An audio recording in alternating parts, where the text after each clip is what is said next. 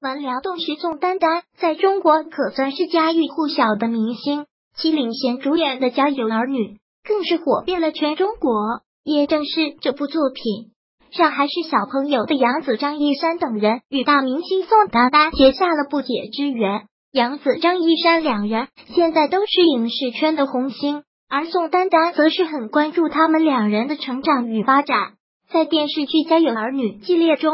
杨紫扮演的夏雪给人的感觉异常的灵动，而张一山扮演的刘星也不甘示弱，处处充满了笑点，更是经典表情频出。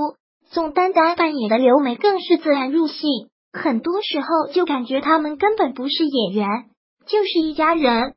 不过张一山、杨紫与宋丹丹的缘分便开始于这部作品。杨紫作为童星出道，其后出演了不少的作品。与后来当红的小花旦杨幂、刘诗诗等人皆有一比，可杨紫与刘诗诗、杨幂等女性比起来，自然显得稚嫩了一些。不过杨紫凭借《家有儿女》中小雨角色的余晖，依然在娱乐圈行走的很好。直到考上北京电影学院之后，还是如此。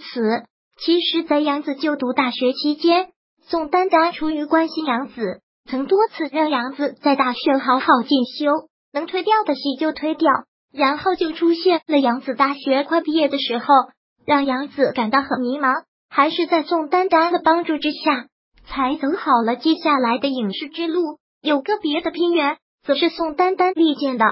随着杨子的不断努力，在娱乐圈也算是站稳了脚跟。凭借其在小花旦中突出的演技，杨子也获得了大批粉丝的喜欢。近期热播的《香蜜沉沉烬如霜》。杨紫就彰显了很不错的演技，私下更是得到了宋丹丹的肯定，同样也得到了其好友张一山的祝贺。宋丹丹对杨紫真的是很好，不过对张一山却态度明显不同。宋丹丹对张一山的关心似乎常在生活上，以及教张一山处事为人之上，几乎对张一山影视剧的接拍以及发展不做过多的询问。